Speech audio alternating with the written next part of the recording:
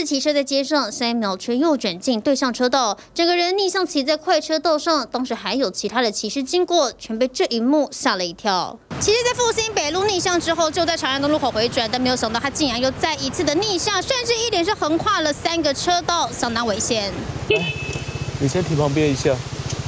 那你刚才怎么会这样起？事发就在台北市松山区，警方调查，二十岁的郭姓骑士是大学生，日前跟朋友凌晨到复兴北路一间 KTV 喝酒唱歌，以为休息两小时就够了，坐机车回家，却是醉茫茫在大街上违规。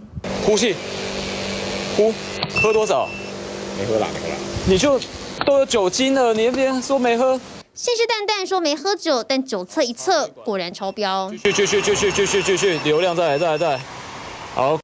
跟我们一起看哦，是，哦零点五四哦。其实每天的晚上十二点到早上六点，台北市警方都会安排两名员警在 KTV 的门口做守望的勤务，就是为了要避免酒后滋事或是有酒驾的行为。而这回一看见违规，立刻上前制止。这回其实酒驾双手被上铐，除了得面对提高的酒驾刑责，还得被开罚逆向骑车最高一千八百元的罚单。TVB 新闻黄俊国站曼台北报道。